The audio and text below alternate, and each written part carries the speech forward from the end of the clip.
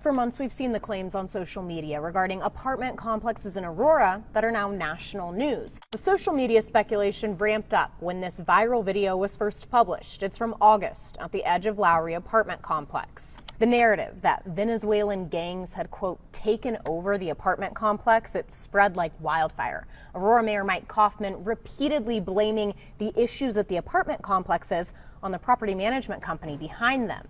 I think it's an out-of-state slumlord and hasn't maintained the property. CBZ Management, they own the complexes in question. Several reporters, myself included, we've been trying to reach out to them to get an interview. It's been unsuccessful. But then on October 11th, they took to X, formerly known as Twitter. In a series of posts, they aim to, quote, set the record straight, and they reiterate one of their main claims that gangs have taken control of several properties in Aurora. Aurora police still telling me, as of today, that they have no evidence of a gang takeover at those properties owned by CBZ. CBZ management begins their social media post by saying they acquired the properties in 2019 and their goal was to renovate them. CBZ says they contacted city officials for help, but, quote, none were able to take meaningful action.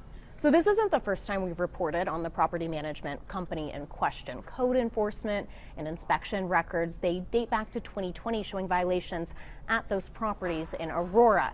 And CBZ also owns properties in Denver. They could do a way better job because it's kind of run down in there. Where we reported on the thousands of dollars in fines facing CBZ management.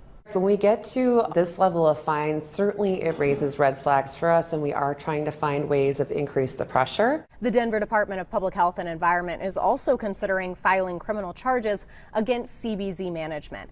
I've been messaging with CBZ management today online through social media, and I did ask them a couple of questions one specifically being, why are we seeing some of these similar maintenance issues at properties in Denver without the gang accusations we're seeing in Aurora? I'm waiting to hear back.